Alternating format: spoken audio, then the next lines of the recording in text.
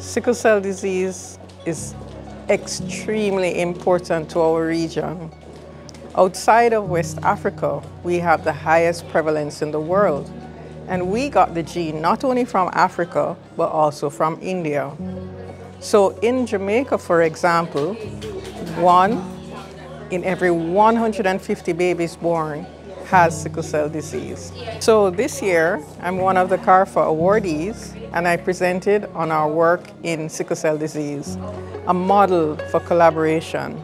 And my hope is that this model can be used in other diseases such as mental health. So, sickle cell disease can impact mental health in several ways. Believe it or not, about 6% of our children with SS disease, which is the most severe type, will have a stroke by the time they're 16. I mean a stroke. Half of your body is dead and you can't talk, right? And apart from that, one in five, so 20% of children with sickle cell disease get a silent stroke where you don't see anything on the outside, but it might affect their learning or their behavior. So clearly, sickle cell is related to mental health, but even more, sickle cell disease causes pain like you can't understand, like chikungunya times a hundred, right? Now imagine every morning you get up, you don't know if you're gonna go through to the rest of the end of the day without that pain. What's that gonna do to your mental health?